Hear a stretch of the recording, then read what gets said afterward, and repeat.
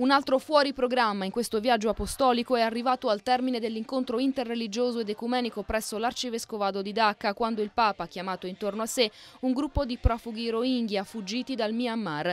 Parlando a braccio, Francesco ha ricordato la grande tragedia che vivono questi fratelli e sorelle e ha chiesto perdono per il male loro arrecato e per l'indifferenza del mondo. Continuiamo ad aiutarli a muoverci perché siano riconosciuti i loro diritti, è stato il suo monito, mentre ha affermato con dolore dolore che la presenza di Dio oggi si chiama anche Rohingya.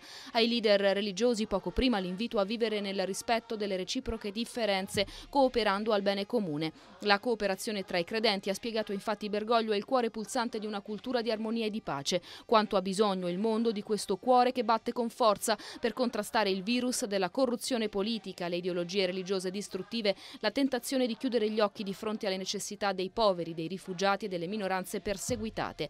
Questa quinta quinta giornata di Francesco in terra asiatica era iniziata con la messa nel Suradawi Udiyan Park di Dhaka davanti a 100.000 persone, durante la quale il Papa ha ordinato 16 nuovi sacerdoti, regalando così una festa alla piccola ma vivace chiesa del Bangladesh. Ai presbiteri l'invito a seguire sempre l'esempio del buon pastore, mentre ai fedeli presenti la raccomandazione di sostenerli con generosità e soprattutto con la preghiera.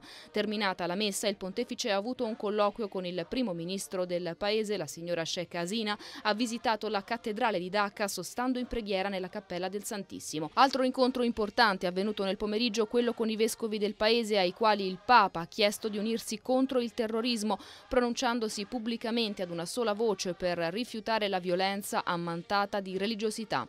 La Chiesa in Bangladesh, fatta anche di laici, in particolare di catechisti, ha ribadito si distingue per zelo missionario, spirito di collegialità e mutuo sostegno. Da qui ha riaffermato l'importanza di coltivare l'apostolato verso i poveri e i bisognosi senza mai dimenticare lo spirito ecumenico.